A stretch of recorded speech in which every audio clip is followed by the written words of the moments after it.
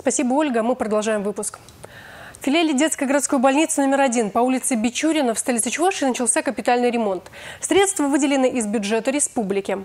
После реконструкции на первом этаже появится отделение здорового ребенка, что поможет разделить потоки больных и здоровых детей.